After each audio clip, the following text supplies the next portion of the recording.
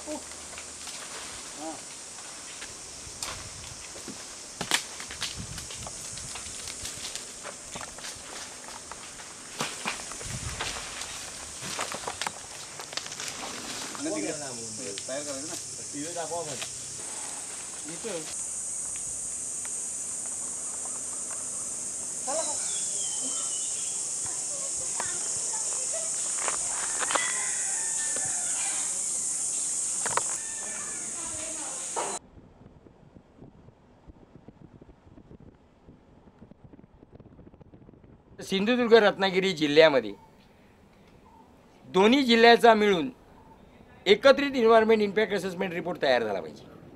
ह्या वेळेला हे प्रकल्प ह्या कोकणामध्ये कार्यान्वित होतील त्यावेळेला त्याची दाहकता हे कोकण हा निसर्ग हे पर्यावरण सहन करू शकेल का? ह्याचा एकत्रित अभ्यास झाला पाहिजे.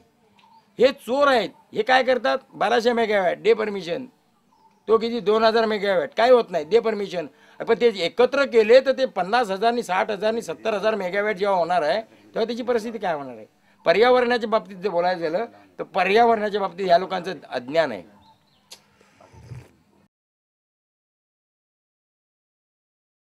आमच्या किनारपट्टीला नुसता मासा हा सेन्स नाही मासा आहे आंबा आहे. कारण आंबा सुद्धा किनारपट्टी बसून फक्त दहा पंधरा किलोमीटर होतो. इव्हन तुम्ही असं एक छोटा हिल आहे अशी ही सी सी टुवर्ड्स आहे धिस हिल. तर ह्या हिलमध्ये इथे मँगो होतो. आणि इथे मँगो होत ना इथे ती क्वालिटी तो फ्लेवर तो कलर तो आरवा मिळत नाही.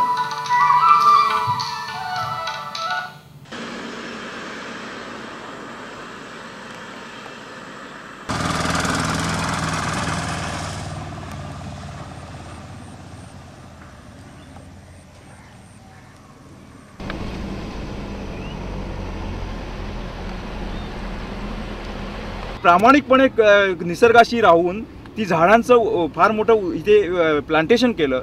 एवढं एवढी लागवड केली. पण होतं असं की आजच्या घडीला ते प्लांटेशनच मुळी उद्ध्वस्त करायचे करण्यासारखे प्रकल्प इकडे येऊ घातलेत. आज कुठे त्याला उत्पन्न मिळायला आहे तेवढ्या वेळातच त्यांनी पुन्हा अशा तऱ्हेचे प्रकल्प एका लाईनीत म्हणजे आमच्या रत्नागिरीमध्ये रत्नागिरी सिंधुदुर्गमध्ये सव्वीस ऊर्जा प्रकल्प. ही कुठली वस्तुस्थिती? कोणता अभ्यास नाही कोणता शास्त्रोक्त पद्धतीने अभ्यास न करता स्टडी न करता जर एवढे प्रकल्प लादले जात असतील तर हे आमचं दुर्दैव आहे ना. थर्मल पॉवरचा एक मेगावॅटचा जरी प्रकल्प उभारायचा असेल तर तो दिल्लीहून एम ओ एफकडून मिनिस्ट्री ऑफ एन्व्हायरमेंट अँड फॉरेस्टकडून तिथल्या जी एक्सपर्ट एक्सप्लायझर कमिटी आहे त्यांच्याकडून परमिशन आणण्याची गरज असते. यांच्याकडे पैसा आहे जमीन आहे यांनी प्रकल्प आधीच उभारून ठेवला होता. आणि त्यानंतर परमिशनसाठी जेव्हा आम्ही इथून प्रचंड मोठ्या प्रमाणात आंदोलनं सुरू केली त्यावेळेला मग यांनी परमिशनसाठी खटाटोप सुरू केला.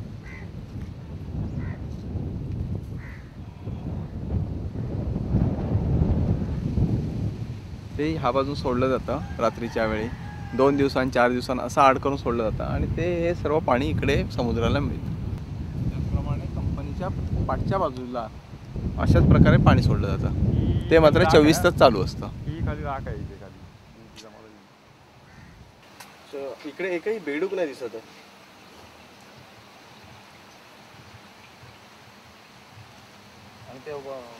हे बाराही महिने पाणी चालू असते. ह्याच गतीने ह्याच एवढंच. मग एवढं पाणी येतं कुठनं? जर ते म्हणतात आमचं लिकेज नाही ना मग एवढं पाणी येतं मग ह्याला वास तरी कसा येतो? त्यांच्याकडे जी केमिकल आहे त्यांचाच वास ह्या पाण्याला येतोय. आणि हे प्रदूषण महामंडळाने मान्य पण केलेलं आहे. फक्त ते कागदवावरती येत नाही का? पिण्यास योग्य नाही वगैरे असं एवढाच रिपोर्ट देतात.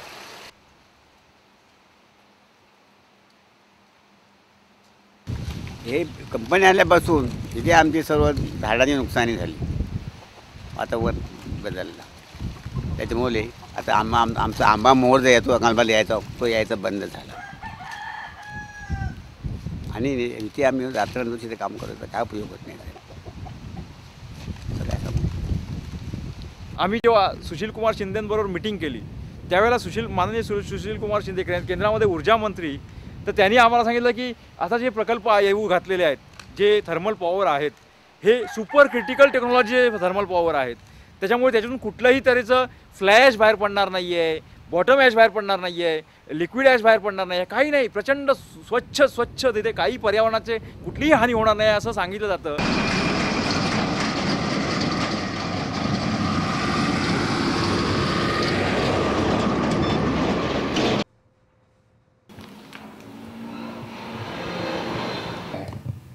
चायनामध्ये ऑलिम्पिक खेळ स्क्रॅप केला होता. ती सगळं त्यांनी स्क्रॅप उचलून आणलं. चायना खूप मोठा कंट्री आहे. त्यामुळे त्यांनी त्या एरियामध्ये पाच सहा प्लॅन्ट्स काढून टाकले. डिसमेंटल केले. जिथे त्यांच्या ऑलिम्पिक्स प्लेसेस होत्या तिथे. आणि ते ह्या लोकांनी उचललं. त्यामुळे सगळी मशिनरी स्क्रॅपमधली आहे. सब क्रिटिकल टेक्नॉलॉजी आहे. की जी आज वर्ल्ड वाईड बंद झालेली आहे.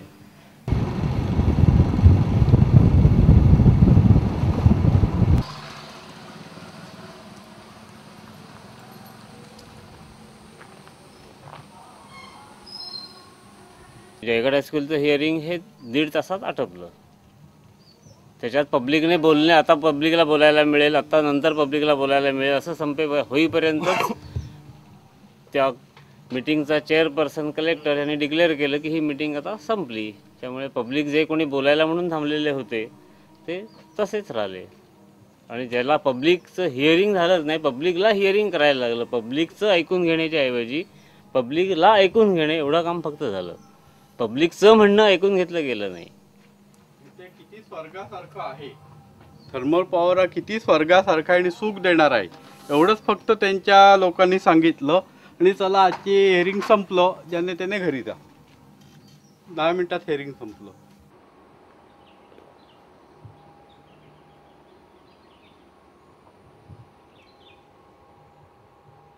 पाणी वरच्या प्लॅन्टमधनं येणारं पाणी ह्याच्यात. ते संपूर्ण पाणी खारं आहे मुरलं तर खाऱ्या कलम पाण्यात ही कलमं होतील का आमची? तर त्यानंतर पावसाळा आला गोडं पाणी पावसाचं पडलं. तर पावसाळा गेला. ही तळ आत्ता भरलेलंच आहे. की ते आत्ता नसतं कधीही भरलेलं. माडाची जी पानं आहेत त्याची जी शेवटची टोक आहेत ती अशी कधी झडत नाहीत. ती बघा प्रत्येक झावळेचं शेवटचं टोक लाल झालं आणि झडलं. हा फरक राजा तुझ्याकडे की नाही? मग हे प्लॅन चालू झाला तर पहिले काही दिवस पावसाळी होते. आता पाऊस गेल्यानंतर हल्ली पंचवीस एक दिवस झालेत. तर पंचवीस दिवसातली ही परिस्थिती. नवीन आलेली पालव्याची त्रिकोणी होऊन चिमते खाऱ्याने. नवीन पान तर सरळ यायला पाहिजे झाडाचं किंवा येतो. हे काम हे बघायचं जोडीचं पान कसं झालंय ते. सगळं. ह्यानं मोहर येणार कधी झाडं लागणार कधी? आणि मालक खाणार काय पुढे? की जी आत्ता शंभर एक कैरी असायला पाहिजे. त्याच्यावर आहे का बघा?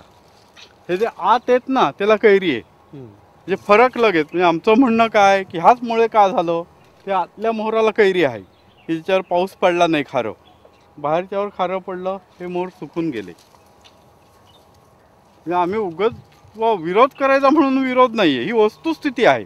म्हणजे ते ते पाणी उडतं फोर्सनी ते वाऱ्याबरोबर संपूर्ण ह्या पट्ट्यात जातं. आत्ता सुद्धा तिथे गेलेत तर बारीक कण तुम्हाला उडतातच. पण ते वर हवेत मिसळून आणखी पुढे जातील. म्हणजे आणखी पुढे एक एक स्टेप एक एक स्टेप दररोज दहा फूट दहा फूट करत ते गाव व्यापणार आहे. पुरा. हे बघ. स्पॉट समजतात ते ॲसिड आहे की मीठ आहे आधी मुळात हा सुद्धा प्रश्न आहे. त्यांचं. का विहिरीत ॲसिड मिळते खाली. मी शेतीच शेती आंबा आणि म्हणजे घर संसार एवढंच. पण आमचं या आंब्यावर उत्तम भागतं सगळ्यांचं. म्हणजे वर्ष आनंदात जातं श्रमही करावे लागतात उत्पन्नही येतं. त्याबद्दल काही आम्हाला कष्ट नाही. ते श्रम कुठे गेलं तरी करायलाच हवेत. मूळ प्रश्न आहे आम्ही इथले मूळ रहिवासी आहोत. प्लॅनमुळे होणारं नुकसान आम्ही का सोसायचं? तीन चारशे वर्षापूर्वीच्या विहिरी आमच्या पाच बाद झाल्या आत्ता. त्यांनी काय पाप केली होती म्हणून त्यांचे खारं पाणी प्यायचं त्यांनी? का पाच माणसं मेलेत. आमचा मूळ डावा आहे त्या विहिरीचं पाणी पिऊन ती मेली. त्याचा कुठेही आम्हाला रिपोर्ट मिळणार नाही. सरकारी यंत्रणेत. स्पष्ट बोलायचं झालं तर. आपली यंत्रणा काय लायकीची आहे तर सांगायला नको. हा जो बोर्ड आहे विहिरीतील पाणी पिण्यास योग्य अयोग्य आहे तरी कृपया विहिरीतील पाणी पिऊ नये हुकमावरून ग्रामपंचायत नांदिवडे. हे प्रदूषण महामंडळाने लिहिलेला बोर्ड आहे दुर्दैव म्हणजे. जो प्रदूषण महामंडळ असा बोर्ड लिहितं तर कारखान्याला सील का करत नाही? आमचा एवढाच प्रश्न आहे हेच दाखवायला मी तुम्हाला फिरवलं की प्रदूषण महामंडळ जर मान्य झालेलं आहे विहिरी खराब होत आहेत तर लोकांनी पाणी प्यायचं कुठचं तीन तीनशे वर्षापूर्वीच्या विहिरी आहेत. मुलगी बघायला आलेले लोक. चहा पाणी न घेता जेव न जेवता निघून गेलेले आहेत. आणि ह्या विहिरीचं असं आहे की चार महिन्यापूर्वी जेव्हा पाणी चेकिंग झालं तेव्हा एकोणीसशे पन्नास क्लोराईडचं प्रमाण होतं. हजारपर्यंत चालतं पण एकोणीसशे पन्नास होता दुसऱ्या विहिरीचं एकवीसशे पन्नास होतं. हा प्रोजेक्ट चालू झाल्यापासून हे सगळं झालेलं आहे. आज तीनशे वर्षात कधी काही झालं नाही. आणि आत्ताच का झालं? या पाण्यात क्लोराईड आलं कुठनं? आणि उद्या सगळ्यांच्या विहिरीत यायचं आहे म्हणजे तुम्ही गोडून बोर्ड लावणारा का? ह्या गावातलं पाणी दूषित आहे. एवढंच उत्तर आहे का तुमच्याकडे?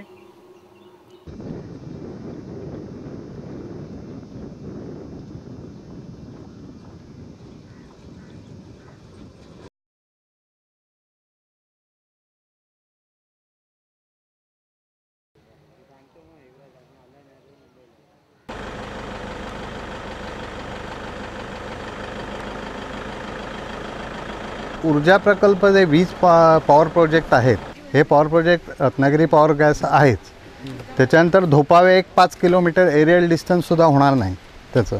एक दोन किलोमीटरच होणार. तर एवढ्या जवळ आणि परत आमच्याबरोबर पलीकडे धोपाव आहे. आणि धोपाव्याच्या पलीकडे गुडघं. आणि या गुडघ्याला आणखी परत एक पॉवर प्रोजेक्ट त्याशिवाय दाभोळच्या वरती आघारी म्हणून गावे तिथे एक पॉवर प्रोजेक्ट होतो आहे आणि हे सगळे कोळशावरचे आहेत. ही वाशिष्ठी खाडी आहे. आणि ते अरब सागर.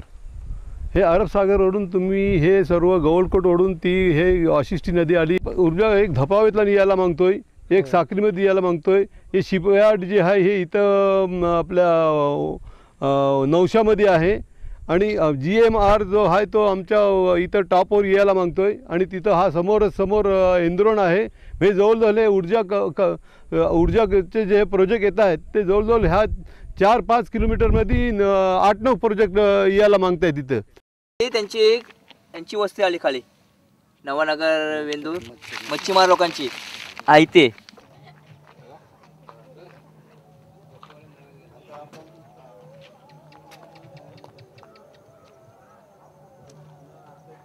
आणि हा संपूर्ण आमच्या इथे कोळसा साठवणार आहे. आता आपण ज्या ठिकाणी स्पॉट उभे आहेत ना तिथून नवगावातून बेल्ट येणार आहेत. कोळसेचं. आणि कोळसाचा हा पूर्ण इथला आहे ना ही बॉर्डर हा त्या टोकापर्यंत आहे संपूर्ण कोळसा साठा करणार आहेत. आणि बेल्ट इथून डायरेक्ट इथे तिथे उतरणार.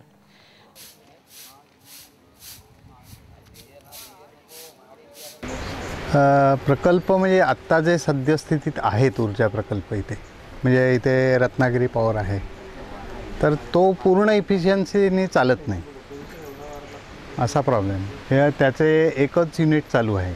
आणखी दोन युनिट त्याचे चालू होऊ शकतात. पण ते मशिनरी गंजलेली ते त्याचं रिकव्हरी काही हे करत नाही ते. दुरुस्ती करत नाहीत.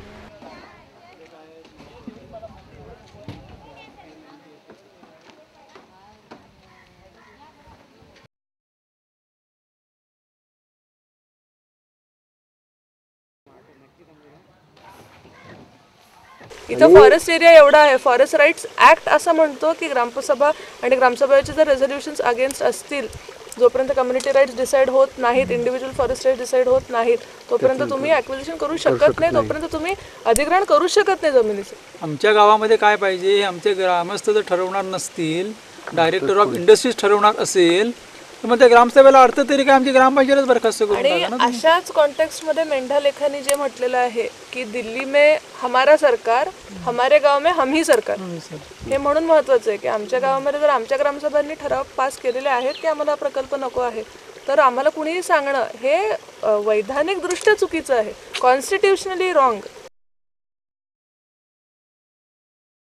हा जो सगळा एरिया आहे पूर्ण. गाडगीळ कमिटी रिपोर्टमध्ये स्पेशली म्हटलेलं आहे की गुडघे पंढेरी भागातली ही जी देवराई आहे ती एक सगळ्यात मोठी देवराई आहे. One of the biggest sacred groves in Maharashtra अशी आहे. हा भाग ecologically sensitive zone two E S Z two जिथे डेव्हलपमेंट ॲक्टिव्हिटीज रेग्युलेट व्हायला पाहिजेत अशा भागात मोडतो. असं कमिटी रिपोर्टनी स्पष्ट लिहिलेलं आहे. They have not recommended any thermal power plants in this region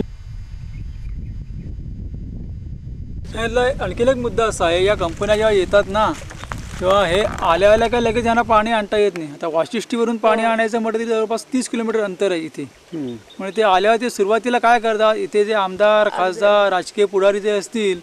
ह्या सगळ्यांना पाण्याची कंत्राटं द्यायची. ते. खुश. विरोध करायला ते येत नाहीत पुढे. पाण्याची कंत्राटं द्यायची मग ते हे पुढारी काय करणार?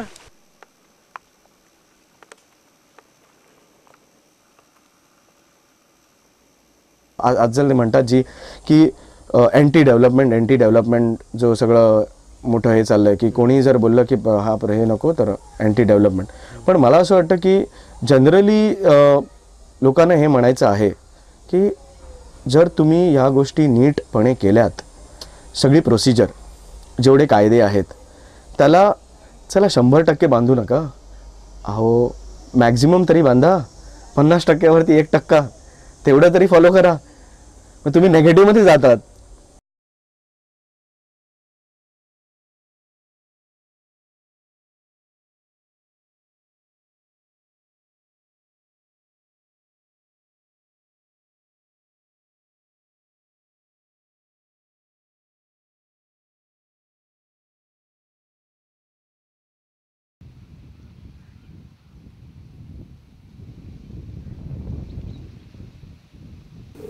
जैतापूरबद्दल मला म्हणजे काय होईल हे कल्पनाच करवत नाही अशी परिस्थिती आहे. कारण जगामध्ये कुठेही दहा हजार मेगावॅटचा एकाच ठिकाणी प्रकल्प कोणी केलेलाच नाही आहे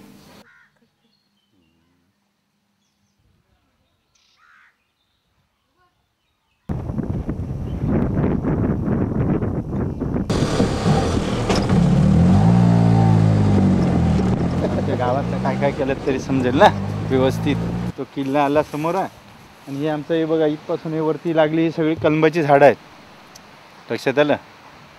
आणि इथे मासे बिशे पकडतात आमच्या इकडे. हो, चालू आहे कुठे हे बघा मच्छीमारी चालू आहे.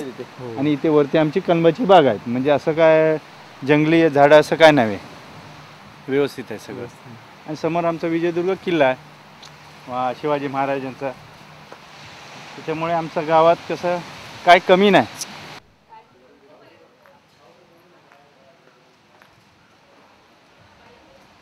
जर आपण लोकशाहीने वागतो असं जर तुम्ही म्हणणं आहे मग तुम्ही सत्तेचं विकेंद्रीकरण केलं आणि काही स्थानिक स्वराज्य संस्थेला तुम्ही अधिकार दिलेत.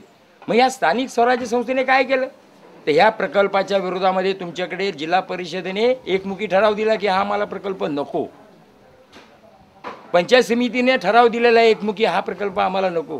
ह्या परिसरातल्या दशक्रोशीच्या ग्रामपंचायतीने तुमच्याकडे ठराव दिलेले आहेत की हा प्रकल्प आम्हाला नको. मग जर तुम्हाला ह्या स्थानिक स्वराज्य संस्थेना विश्वासातच घ्यायचा नसेल तर मग कशाला हा फार्स? किंवा अपघात झाला तर आपण काय इमर्जन्सी ऍक्शन घेणार? आपण लिहिलंय अहवालामध्ये. Are you aware that serious nuclear accidents have occurred योग्य ती पावले उचलली जातील. पब्लिक हिअरिंगमध्ये जे काही लूप्स अँड होल्स लॅकिना त्या ई आय मधल्या लोकांनी काढले सर्वसामान्य लोकांनी काढले सायंटिस्ट लोकांनी काढले त्याला कुठेही समर्पक उत्तर यांनी दिलेलं नाही. हा प्रकल्प कुठल्याच बाजून चांगला दिसत नाही. कारण आज आमच्या भूमी घेतल्या सुद्धा आम्हाला कारण आम्ही एखादी जमीन घेताना आम्हाला कुठलं खरेदी करत हे सगळ्या गोष्टी करत पण एवढ्या गव्हर्नमेंटने आमची भूमी घेतली कुठलीच आमची परवानगी घेतलेली नाही आजपर्यंत. फक्त नोटीस कागदोपत्री नोटीस पाठवणे त्यांनी फार्स म्हणतात तसं केलेलं आहे दुसरं काहीच केलेलं नाही. कारण आम्ही एखादी म्हणजे आमच्या शेजारची जमीन घ्यायची झाली तर आम्हाला भरपूर कागदपत्र रंगावी लागतात. परंतु गव्हर्नमेंटला कुठलीच कागदपत्र रंगावी लागत म्हणजे आश्चर्य वाटतं या गोष्टीचं.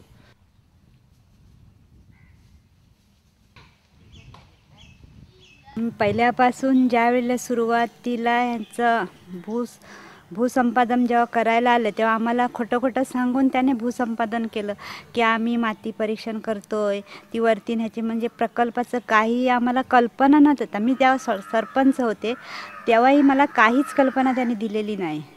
आणि कुठलंही पत्रही दिलेलं नाही. म्हणून आम्ही त्यांना विचारायला गेलो तर आम्ही फक्त माती परीक्षण कुठे काय खनिज सापडतं काय बघण्यासाठी आम्ही हे करतो आहे असं आम्हाला सांगण्यात आलं. आणि नंतर त्यांनी अचानक सगळं केलं आणि पोलीस बंदोबस्तात सगळं करतायत आता. सुरुवातीला भूसर्वेक्षण जेव्हा झालं त्यावेळेला सर्वेच्या नोटीस झाल्याबरोबर एमर्जन्सी भू लँड ॲक्युरेशन ॲक्ट लावून तरी पंधरा दिवसाच्या आतमध्ये तुमच्या जमिनी आम्ही घेऊ अशा नोटिसा दिल्या. पूर्ण ही कम कंप्लीट कलमाचे भाग आहे त्या. अगदी तिथपर्यंत. कलमाच्या भाग आहे ह्या इकडे आता केळी आणि अननसची लागवड आहे. हे बघा. इथून समोरून घेतली तर मिळेल. त्यावेळी हे खड्डे मारले ना इथे म्हणजे आमच्या कंपाऊंडून मारले. त्यावेळी आम्ही त्यांना म्हणजे सांग विचारलं येऊन सांगितलं किंवा हे आमचा एकशे एकोणीस नंबर याच्यामध्ये गेलेला नाही आहे. काय? तरी पण ते काही शेवटी मानलं नाही त्याला. खड्डे मारले तर हे त्याच्यामध्ये पुरले आतमध्ये. असे खांबे पुरले आहेत असे खांबे पुरले आहेत तिकडे. हे लोक आठ वाजता यायच्या अगोदर आम्ही ते चोरून शि- पाणी शिपतो. पाच वाजता येऊन सकाळी. कारण ती झाडं मरून जातील अशी ना. काय करणार? त्याला पाणी तर पाहिजेच आणि हे संपूर्ण हे गेलं. आता काय खाणार आम्ही? दोन लाखाचं उत्पन्न आहे आमच्या गाव कलंबाचं असं अशी परिस्थिती आमची करून टाकली. आम्हाला रात्रंदिवस झोप नाही जेवण नाही सगळे टेन्शन विचार विचार विचार निसते. माझ्या भावाला चार वेळा मारलं बेशूद पडलेला भाव. दांडा घातला तो बेशूद पडला तो चार तास हे होता. नंतर जैतारला हॉस्पिटलात नेलं. तिकडून मग डॉक्टरकडे नेलं औषध पाणी केलं.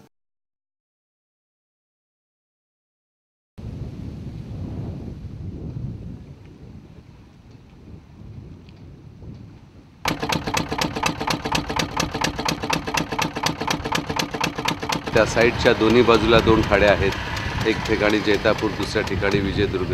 आणि ह्या जैतापूर खाडीवर साखरी नाट्य हे मोठं मच्छीमारी केंद्र आहे. त्या बाजूला तुळसुंदेसुद्धा आहे अं, साखरी नाट्यामध्ये जवळजवळ पाच ते सहा हजार मच्छीमार इथे प्रत्यक्ष राहतात. ॲक्च्युली जो न्यूक्लिअर प्लॅन्टचा जो आता माडबनमध्ये अणु ऊर्जा जो प्रकल्प होतो आहे तो त्या भागामध्ये होतो समोरचा जो डोंगर आपल्याला दिसतो ना त्या भागामध्ये तो प्रोजेक्ट होता आहे. आता तिथपासनं या डोंगरापर्यंत जवळजवळ हवाई अंतर एक दीड ते दोन किलोमीटर एवढंच आहे.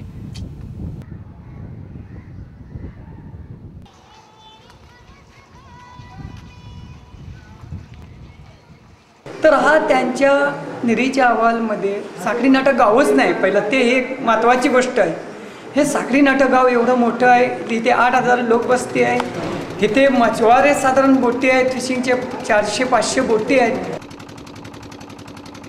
या सीमधनं जी वॉटर कुलिंगसाठी जी पाईपलाईन पाण्यामध्ये एक दोन किलोमीटर का तीन किलोमीटरपर्यंत सोडणार आहेत त्या पाईपलाईनवरनं जे रिॲक्टरसाठी पाणी समुद्रातून घेणार परत गरम पाणी सोडणार त्या गरम पाण्यामुळे मासा उत् मच्छीमारीवरती नक्कीच परिणाम होणार.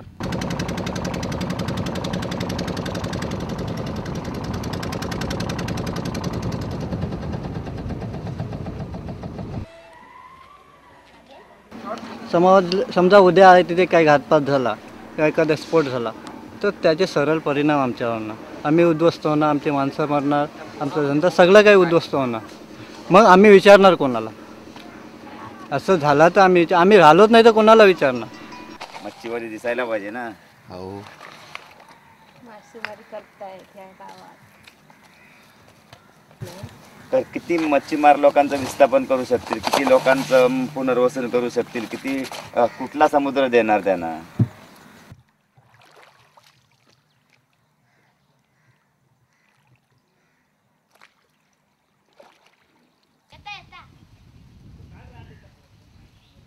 आता आमची मुलं आहेत.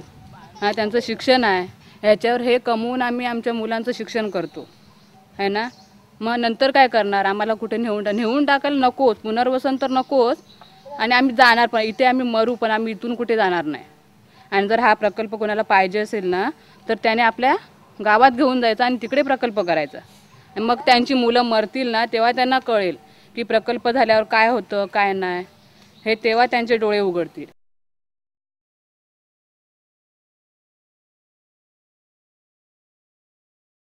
ही ऊर्जा जी आहे ही लोकां जर श- शरीरावरती जर पडली हां तर त्याचे फार वाईट परिणाम होतात. आणि त्याचे निरनिराळे परिणाम आहेत. पण खास करून जे आपल्या शरीरामध्ये जे परमाणू आहेत किंवा अणू आहेत त्याच्यामधून इलेक्ट्रॉन्स तिथून काढून टाकतात. म्हणून त्याला आयनायझिंग रेडिएशन म्हणतात. एक दिन के मृत्यु, मैंने बच्चा पैदा हुआ और बच्चा पैदा होते 24 घंटे के अंदर मर गया। या मरे हुए बच्चे का पैदा होना। तो इस तरीके की चीज़ें हमें रावत भाटा में बहुत ज़्यादा तुलनात्मक दृष्टि से जो दूसरे एरिया थे, मध्य प्रदेश के जो गाँव थे, उससे ज़्यादा दिखे।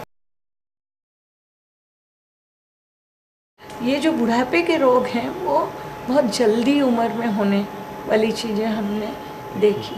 पॉपुलेशन के अंदर भी अगर हम कंपेयर करते हैं तो जो परमाणु ऊर्जा केंद्र शुरू हुआ, उसके पहले जो पैदा हुए थे लोग, उनको अगर जो बाद में पैदा हुए, उनके साथ देखते हैं तो हम देखते हैं कि बहुत डिफरेंस है जन्मजात विकलांगता में।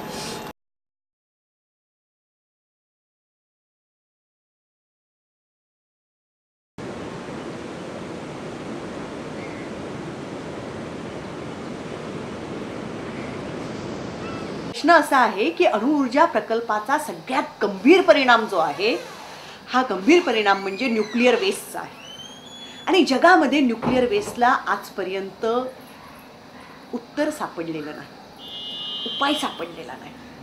दहा हजार वर्षापर्यंत न्यूक्लिअर वेस्ट जपून ठेवावं लागतं असं न्यूक्लिअर कॉर्पोरेशन सुद्धा म्हणतं एन पी सी एल सुद्धा म्हणतं.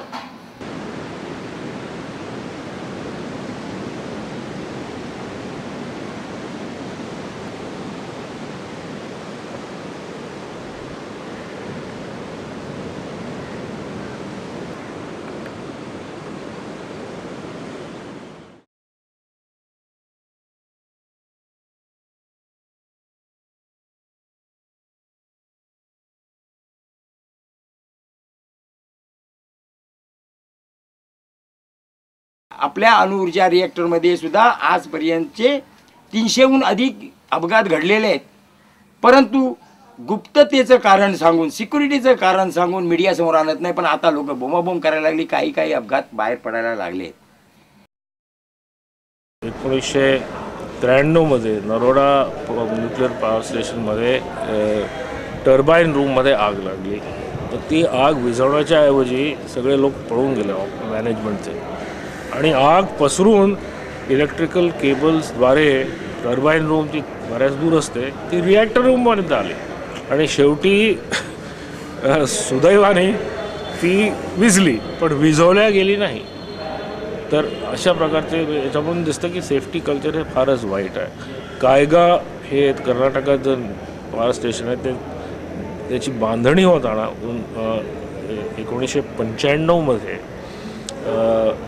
त्याची एक फार महत्त्वाची सेफ्टी सिस्टम आहे. त्याला म्हणतात कंटेनमेंट डो की समजा रिॲक्टरचं जे मेन पात्र आहे ते तुटलं रिॲक्टर कोअर डॅमेज झालं त्याच्यात प्रायमरी कंटेनमेंट जे स्टीलचं आहे ते पण भंग झालं. तर शेवटी रेडिएशन बाहेर जाऊ नये म्हणून एक कॉन्क्रीटचा डोम असा बनवला असतो. तर तो बनवतानाच तो पडला खाली. कोसळ कोसळून पडला. जर रिॲक्टर तिथे चालू असते तर एक चर्नोबिल झालं असतं अशी भयानक परिस्थिती ते म्हणजे की ही जागा जी निवडली गेली तिची काय योग्यता आहे? आपल्याला किती ऊर्जा लागते आणि किती उपलब्ध आहे? याच्यापेक्षा जास्त किरणोत्सार बाहेर येता कामा नये. आज भारतामध्ये एकूण वीस अणुभट्ट्या कार्यरत आहेत. किरणोत्सार आणि कर्करोग. वीस पंचवीस वर्षामध्ये तो निसर्ग अधिक समृद्ध झालेला आहे. आणि तिथली बायोडायव्हर्सिटी ॲक्च्युली वाढलेली आहे. त्या कंस्ट्रक्शनमध्ये सात आठ वर्षाचा डिले झालेला आहे. जो फिनलैंड में डिले हुआ है उसका टेक्नोलॉजी से कोई संबंध नहीं है। बाकी कुठलाही कॅन्सर रेडिएशनमुळे होत नाही. दुकानात त्याच्या पाहिजे कायदे काढून करून लोकांना कंपल्शन देतोय का? तेल कोणते दोष आहेत त्या होणाऱ्या धोके परिणाम? चालत नाही का? मग त्यांना न्याय वेगळा आम्हाला न्याय वेगळा ही वस्तू तुमचे. जेवढे शास्त्रज्ञ ते तुम्ही कसे निवडले चेन्नई के जो कैंसर रेट्स है There are six cases far away and 39 cases nearby.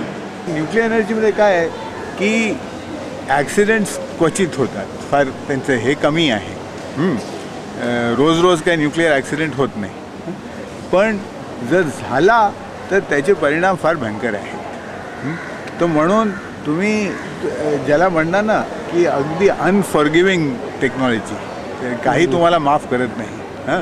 तर तुम्हाला असं सिस्टम पाहिजे की ज्याच्यामध्ये पुष्कळ जास्त वादविवाद असो आहे तुम्ही ह्याच्यामध्ये. कारण कुठचंही तुमचं प्रोसिजर जर चुकलेलं आहे तुमचं मटेरियल्समध्ये काही प्रॉब्लेम आहे तुमचं ट्रेनिंगमध्ये काही प्रॉब्लेम आहे सर्व तुमचे प्रॉब्लेम्स आधी सॉल्व्ह झाला पाहि व्हायला पाहिजे.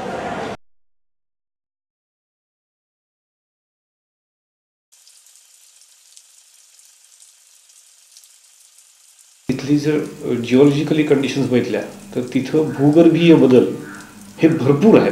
म्हणजे शिवणेचं एक गाव आहे जे गावच्या गाव खचलं किंवा तिथे अनेक ठिकाणी दरडी कोसळणं आणखी गावावर डोंगर पडणं किंवा इवन रेल्वे लाईन जी जाते त्या कोकण रेल्वेचं मॅक्झिमम खचणे आणि मॅक्झिमम कोकण रेल्वेला ॲक्सिडेंट्स ह्या राजापूर तालुक्यामध्ये होताना दिसतात. लांजा टू राजापूर ह्या भागामध्ये. आणि मग अशा पार्श्वभूमीवर ही सगळी खोटी बेस तयार करून ही प्लेस करेक्ट आहे. असं ह्यांनी भासवलेलं आहे. ॲक्च्युली ही प्लेस शास्त्रीयदृष्ट्या ॲटॉमिक पॉवर स्टेशन आणि ते सुद्धा असं मोठं दहा हजार मेगावॅटचं आणण्यास योग्य प्लेसच नाही आहे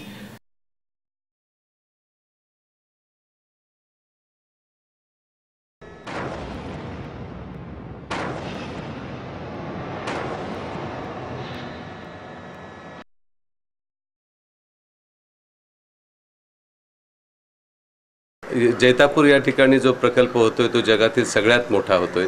जर फुकुशिमाच्या अपघाताची टोकियोपर्यंत किंवा दोन अडीचशे किलोमीटरपर्यंत जर त्याचा परिणाम झाला तर मला वाटतं जैतापूरचा हा प्रकल्प इतका मोठा आहे की त्या ठिकाणी जर असा अपघात झाला तर दोन तीन राज्यामध्ये त्याचे दुष्परिणाम दिसून येतील आणि फारच भयानक असं ती एक आपत्ती असेल.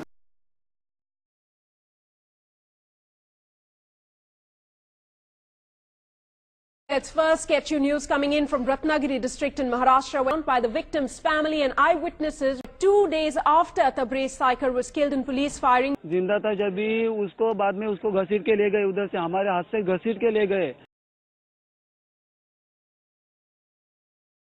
ते अठरा तारखेला गेलं त्यांना पण ते गोळीबार केला तो मुलगा पण कशात नव्हता एकुलता एक मुलगा आई वडिलांचा आणि असा एकदम म्हणजे तो भांडणा बिडणारा पण नव्हता सहज असा गेलेला होता. त्याच्यावर गोळीबार केला. एका घरावर दोन तीन गोळ्या मारलेल्या आहेत. त्या घरामध्ये अजूनही पडलेल्या आहेत त्या तीन गोळ्या.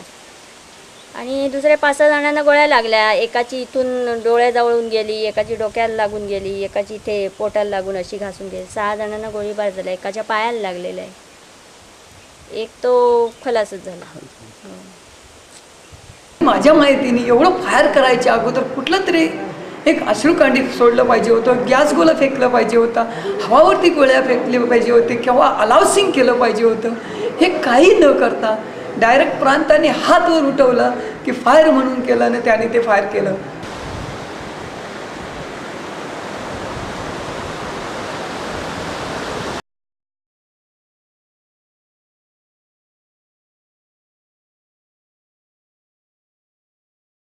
निसर्गानं अगदी उदाहरण दिलेलं आहे सरकारला जागृत होण्यासाठी. तरी पण ते सरकार ऐकत नाही. आता ह्या एवढा सुंदर गाव आमचं आहे त्याचं म्हणजे वाट लावून टाकणार आहेत ही लोक. काय सांगणार? सगळे प्रयत्न करून झाले सगळ्या बाजूने त्यांना सांगून झालं मुख्यमंत्र्यांना पंतप्रधानांना सगळ्यांना लेटर वगैरे पाठवून सगळं झालं. उपोषण करून झालं. सगळ्या प्रकारचं आम्ही आंदोलन करून मोकळे झालेले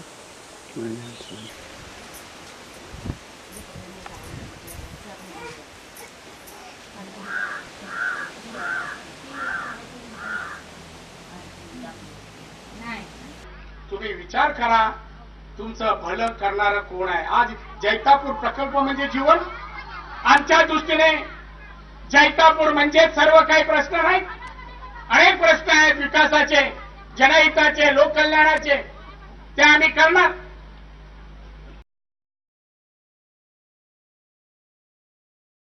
इकडे तुम्ही आम्हाला नोटिसा का पाठवून नोटिसा देऊन बोलवायचं आणि जमावबंदी लावायची. आता एकत्र बोलवणार तुम्हीच आणि आम्ही एकत्र आल्यानंतर पुन्हा पकडणार तुम्हीच. म्हणजे अशी परिस्थिती आहे. आमच्यावर खोट्या नाट्या केसेस दाखल केल्या जातात. केवळ कोर्टाच्या आणि पोलिसांच्या कचाट्यात सापडून त्या चक्रव्यूहात सापडून कमीत कमी वेळ चळवळीला मिळावा लोकांमध्ये मिळावा हा त्याच्या मागचा हेतू आहे सगळ्यांना माहिती आहे. आज आम्हाला आमचे जे लोकशाही हक्क आहेत सभा घेण्याचे लोकांना भेटण्याचे मोर्चे काढण्याचे एवढंच नव्हे तर त्या जिल्ह्यात जाऊन लोकांना भेटण्याचे हे अधिकारही आज जवळजवळ पाय त्यांची गळचेपी आज होत आहे. आमचे जे दुसरे सहकारी म्हणजे कोळशे पाटील. या कोळशे पाटलांना तर त्यांनी दांबूनच ठेवलं होतं. आणि कुठलंही कारण नव्हतं त्याच्यामध्ये. एकतर ते तिथं गेल्यावर त्यांच्या त्यांना तोंडी हुकूम काढण्यात आला की तुमच्यावर बंदी आहे. ते म्हणाले ठीक बंदी असेल तर मी जातो परत. नाही आता तुम्ही बंदी मोडून आहात. त्याच्यामुळे तुम्हाला अटक. त्यांना अटक केली. सहा दिवस त्यांनी दामून ठेवलं होतं त्या याच्या. एक म्हणजे हायकोर्टातलं न्यायमूर्ती त्यालाही सुद्धा ही ट्रीटमेंट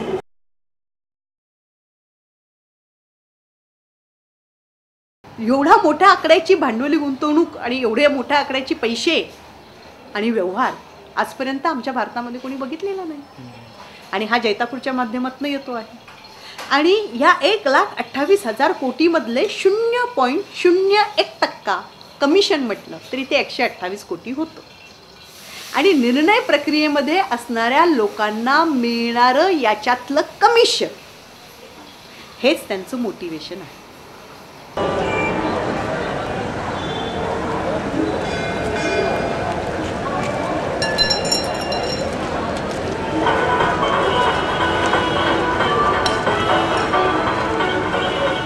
हे सगळं भांडवलशहांचं ठराविक लोकांचं बसलेली निरनिराळ्या ठिकाणची सरकारं एकत्रित राहून हे करत असलेलं एक षडयंत्र आहे. ह्याच्यात जनतेचा फायदा नाही पुढच्या पिढ्यांचा तर नाहीच नाही. आणि पुढच्या पिढ्यांना तुम्ही ह्या अणु इंधनाची जबाबदारी टाकणारे तुम्ही कोण? का म्हणून तुम्ही त्यांच्या डोक्यावर हे अनुत्तरित प्रश्न टाकताय? ज्या प्रश्नाला तुम्हाला उत्तरच नाही सापडलेलं तर तुम्ही का निर्माण करून ठेवता त्यांच्यासाठी? हु इज रिस्पॉन्सिबल देन आणि ती पुढे तुम्हाला क्षमा करणार नाही. का करावी ते? आणि तुमच्या ह्या सगळ्या पापाची तिरडी त्यांनी का व्हावी? अण्णा हजारे सांगता आधी पुनर्वसन हा कोण? हा कोण आमचं पुनर्विस पुनर्वसनाचा प्रश्न विचारणारा? हा कोण? याला काय आम्ही मक्तेदारी दिली आहे आमच्या गावाची? कोणीच आमच्या प्रकल्पाच्या बाजूने बोलायचं नाही. मग तुम्ही करा तुम्ही पाठिंबा द्या असं बोलायचंच नाही. शिवाजी महाराजांनी काय काय केलं त्यांच्यासाठी? सगळ्यांनी देश घडवला आणि हे सगळे मोडीच काढायला निघाले.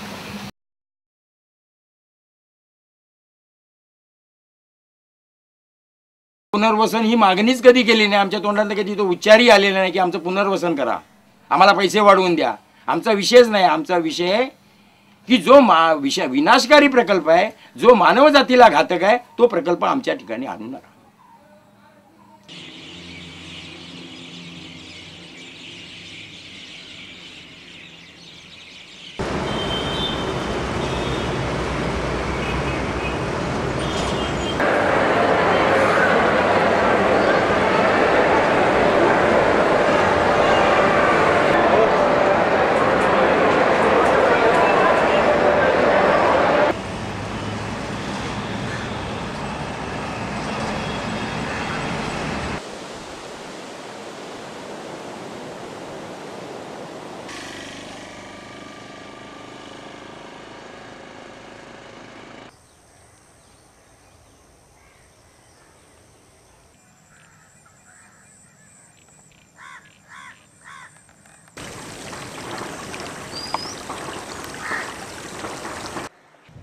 ज्याप्रमाणे आपण कोकण म्हणतो की एवढा सुंदर कोकण स- परिसर तर तो सुंदर का आहे?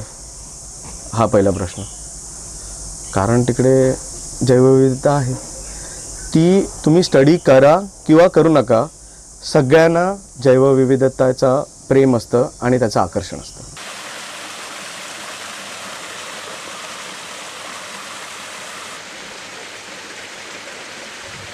आमच्या गव्हर्नमेंटला जास्त काळजी कोणाची आहे? तर इंडस्ट्रीजची आहे मायनिंग कम्युनिटीची आहे शिपयार्डची आहे. लोकांची ज्यांचे खरं तिकडे हाल होतात आणि परिसंस्थेची जी इथं नुसती साधी स- सोपी नाही world heritage global biodiversity hotspot आहे त्याची मात्र कुणालाही शून्य काळजी आहे.